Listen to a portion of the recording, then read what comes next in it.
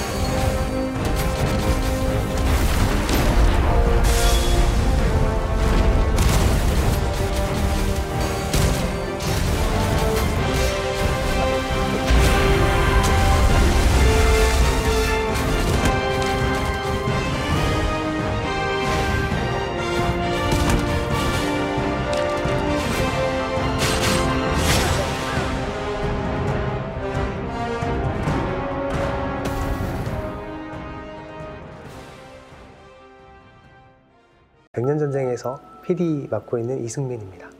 밸런스 기획자 박경훈이라고 합니다.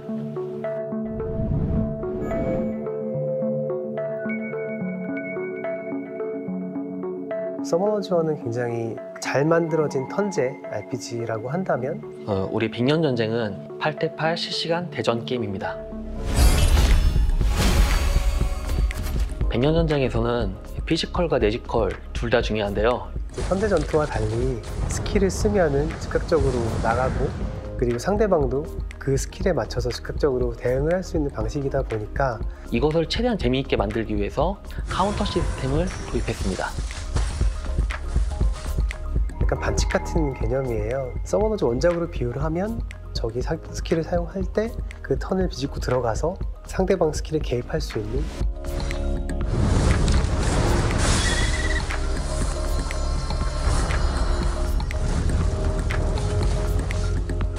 상대방의 스킬이 발동하기 전에 제가 카운터를 하냐, 발동하는 중에 카운터를 하냐, 아니면 발동이 끝난 다음에 카운터를 하냐의 차이에 따라서 굉장히 그 프레임 단위의 어떤 개입에 따라서 전황 자체가 왔다 갔다 하는 그 게임의 흐름을 잘 읽고 있어야 되고 상대방 패도 읽고 있어야 되고 일단은 빠른 머리 회전 순발력이 좀 필요하게 되어 있기 때문에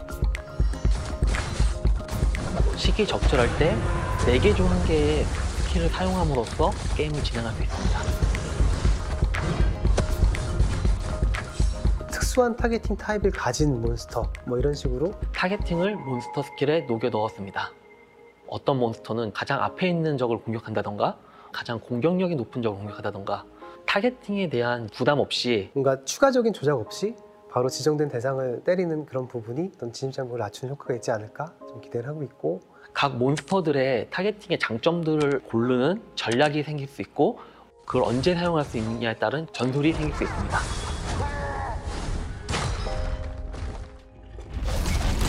몬스터의 어떤 개성을 조금 더 살리기 위해서 그 몬스터 하나당 스킬 하나로 부여를 했고요. 사실 조커 같은 경우는 당연히 조커하면 절단이지라는 것처럼 그 기대하는 감성을 그대로 좀 구현하려고 노력했다. 이 부분을 좀 많이 좋아하시지 않을까 생각을 하고 있고요. 백년 전장에서는 몬스터마다 룬을 3개만 장착함으로써 룬 장착에 대한 피로도를 많이 줄였습니다. 룬으로 인해 어떤 그 격차를 주고 싶지 않았어요. 룬 farming보다는 조금 더 전투에 집중할 수 있는 환경을 만들려고 노력을 했습니다. 백년 전장에서는 소환사의 역할이 되게 커졌는데요. 전투의 소환사를 좀 참전시켜야겠다 생각을 했고요. 소환사는 3개의 소환사 spell을 들고 게임에 들어갈 수 있습니다. 주로 이제 밀리는 쪽이 어떤 역전의 어떤 계기로 소환사 spell을 사용해서 그런 뭔가 드라마틱한 상황이 나올 수 있게끔 좀 만들어 놨어요.